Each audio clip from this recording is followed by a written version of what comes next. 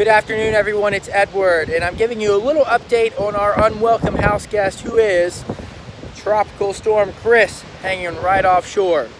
So Chris is bringing us some gusty winds, high tides, big waves. So we just want to encourage you to use some caution as you uh, come into our area today. The red flags are up, so please no swimming in the ocean. It creates a very dangerous situation to swim. Um, the sand is definitely blowing out there, so you may expect some sand in your pool and things like that. And as soon as these conditions start to lighten up, we'll be dealing with that.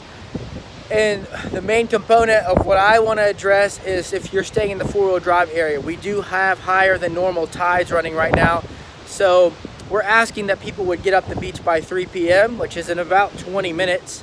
And uh, if you get in around 4, 4.30, 5 o'clock, I'd encourage you to wait till around 6 p.m. because that tide will have had time to fall out a little bit. High tide is right at 4, which is not great for check-in today, but that's just the way nature, nature works sometimes. So I'll be around to help out. I'll be cruising the beach.